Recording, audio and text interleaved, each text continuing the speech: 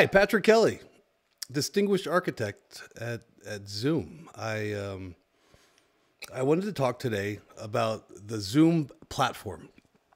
I, I wear this shirt uh, to the grocery store. I have a number of, of Zoom shirts. Uh, uh, that's my attire. That's pretty much what I wear every day at work.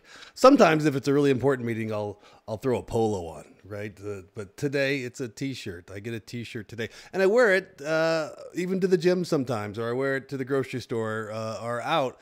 And and you'd be amazed, or maybe you wouldn't be amazed, at the number of people that come up to me and say, "Oh my God, I love Zoom for meetings," and I'm like, "Fantastic! Did you know we do it a lot more?" we do a lot more than just than just meetings. And and well and that's part of uh, that's part of the problem or maybe the issue or maybe uh, education or a talk track per se. And maybe you're going to get one today because we're going to talk about zoom as a platform. We're going to talk about zoom as an ecosystem because it's more than an application. Of course, you know, three years ago, two and a half years ago, when the pandemic started up, everyone knew or everyone quickly knew the name Zoom. Uh, it, it, obviously escalated and, and, scaled to worldwide uh, knowledge and, and, phenomenon as as people clamored to work from home, to communicate from home, to collaborate from home, to stay connected from home. And Zoom was there with Zoom meetings to solve all of those issues and everyone became uh, the word Zoom became synonymous with with video conferencing. Really, no one ever says, "Hey, let's WebEx later," or "Hey, let's Microsoft Teams later." No, they're like, "Hey, Zoom later." Zoom is now a noun and a verb, right? Uh, and that's a great thing, but it's also part of the what we're going to talk about today because Zoom is is way way more than just meetings. Uh, and very obviously prominent part of our, our application suite of products. But did you know that Zoom had a whole bunch of other stuff? Let's kind of take a look at it here. Let's just go to what they call Zoom One. Zoom One is is if you haven't seen this new box, this new sorry box, it's a circle. It's a circle. I don't know why I said box. If you haven't seen this new circle that Zoom uh, launched as a part of their rebranding effort, I wanted you to take a look at it because we're going to talk about part of it. Well, actually, we're going to talk about all of it. And the first part is Zoom One. Zoom uh, has has relabeled this Zoom One, and look, and, and certainly everyone knows everyone knows about meetings. Like that's the prominent part of the the Zoom portfolio. But did you know about did you know about Zoom Phone? Did you know about Zoom webinars? Did you know about Zoom, Zoom Team Chat? Did you know about Whiteboard? Did you know about events? Did you know about any of those things? We do a pretty good job on all of them. And that's just part of Zoom One. All of those applications for UCaaS, a complete UCaaS application right there in Zoom One.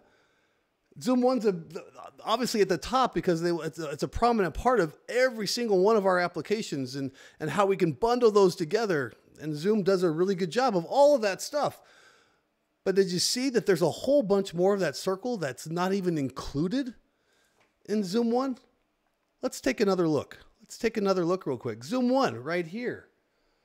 But now, let's kind of go to the to the right of that. Zoom IQ for sales. Did you even know about this? Well, if you watched the video I did with Preethi, you would have known about it.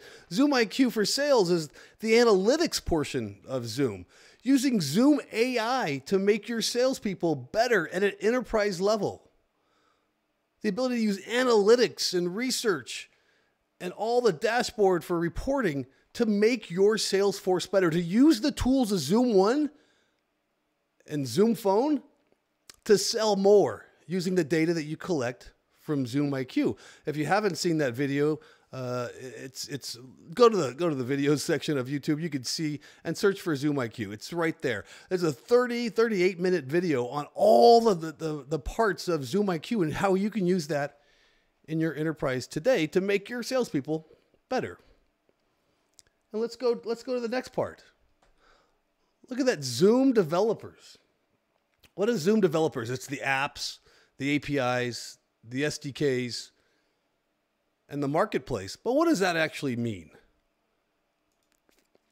Here's what it means Zoom has a very open API and SDK philosophy, meaning you can bring Zoom into your application.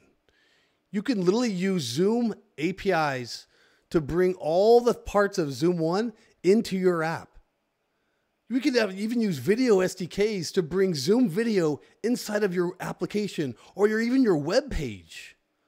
I know we have a, one of the companies that literally uses Zoom Video SDK inside of the web page, so users can click on it and get immediate support using Zoom as the backend for that video technology.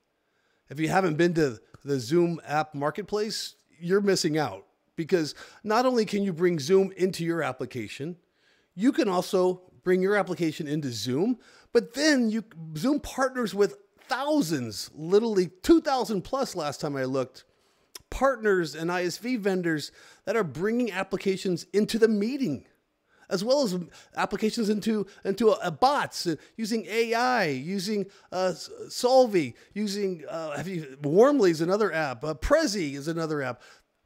I did a, a, a video on Pitch Hub last week where you can literally bring teleprompters inside of Zoom. There's thousands of examples of all these partners making products, making applications, developing software to fit inside that Zoom architecture. And why that's so important is then as, as an information worker, a, a knowledge worker, you can stay within the context of Zoom and the Zoom application more often, creating more productivity, more efficiency for your end users. There was a Harvard Business Review study a couple of weeks ago that just came out, and I'll put it in the in the bottom here, that literally talked about application affinity or context switching, meaning users up to 1200 times a day, knowledge workers and users switch apps. And think about that from maybe from Outlook or Gmail to a web browser to PowerPoint to Google Slides to uh, Salesforce or Dynamics. You're switching apps 1,200 times a day Harvard Business Review said, losing up to 9% of your productivity. Well, that's what Zoom wants to do is increase that productivity, increase that application affinity, meaning staying in the Zoom app longer to get more work done because you don't have to leave to do all these other things. You can stay within the Zoom application and really do your complete UCaaS workload. Staying within one application, not having to leave to do your chats, to do your meetings, to make phone calls, to attend webinars, to create events, to go to breakout rooms. You can stay within the Zoom uh, uh, client and do all those things. That's a really big part of that extensibility of, of Zoom as an application. What's next, you might say, Patrick? Well, let's take a look. Zoom Contact Center. Zoom Contact Center, as well as the Solvvy acquisition.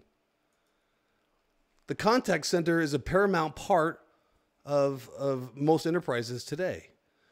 Maybe not for the average knowledge worker, or information worker, but contact center is a part of a vast revenue generating or even support structure of most large enterprises. They need, and it's beyond phone, right? It's beyond the knowledge worker, information worker's uh, uh, use of a Zoom phone. It's that call center capability, those advanced IVRs and auto attendants and call queues, video engagement center. With Solvvy acquisition, we brought in AI into this contact center uh, uh, discussion and topic. Utilizing the power of all those tools, again, administering it from the same dashboard, reporting from the same dashboard, deploying from the same dashboard consuming from the same client, one experience, one application. Again, completing that UCaaS stack more so, advancing beyond just meetings into phone and webinars and breakout rooms and and now now call center. What's next, Patrick? What's next? Zoom Spaces, digital signage, conferencing rooms, workplace reservation. The last two years, we probably haven't spent a lot of time in the conferencing room, right? We've been at home. We've been remote. We've been working maybe from the office. But now, as we've progressed through the pandemic and starting to go into a flexible work model, a hybrid work model, more users and knowledge workers and information workers are going back into the office. And when you go back to the office in masses, you're going to use a conferencing room. You're going to need to, to take advantage of all those rooms that probably maybe collected dust for the last two years. But now, as we go back, we're going to have to leverage all that technology. And that's exactly what Zoom Spaces is for. Zoom Rooms, part of that, the cornerstone of, of Zoom Spaces, the ability to walk into a conferencing room, start up an ad hoc meeting right from the Zoom room itself, or walk into a conferencing room for a scheduled meeting with your coworkers and colleagues, internal or external, utilizing the power of Smart Gallery to frame everyone's picture in one in one frame and and democratizing the, the video experience whether you're in the office or out at out at a remote site or out at a customer site or even at home. Making that same digital real estate imprintable to everyone that's part of the meeting as a presenter or attendee zoom rooms the power of zoom rooms the deployment and ease and use of efficiency of zoom rooms cornerstone of that zoom spaces then we get into digital signage did you even know Zoom was a digital signage company. When you buy even one, I think, uh, license of Zoom Rooms, you get automatic digital signage for your company. Worldwide, you can use digital signage and marketing, information, lobbies, all that work of a digital signage. You don't need to go to a separate application or separate company or separate contract, a separate support system to use digital signage, all built into the Zoom Spaces platform workspace reservation. Now that we're going back to the office and maybe have uh, the need to, to reserve workspaces, maybe you don't even have a cubicle or an office anymore, but you want to go to uh, back to the office and, and grab a space. You can literally reserve spaces now with workspace reservation. And again, built into the same platform, the same ecosystem of Zoom. This is a powerful message because Zoom, if you haven't figured out after this presentation, is beyond just meetings. Zoom is a complete UCaaS platform. And the more you're part of that ecosystem, the easier and more productive your users become. You're now using one application to communicate and collaborate internally as well as externally. You're using one application to attend meetings, phone, webinars, chat and collaborate. You're using one application for your UCaaS solution. So I, I just I just really wanted to showcase the power of the Zoom platform today beyond beyond just meetings. Patrick Kelley, tattooed nerd. Mm-hmm.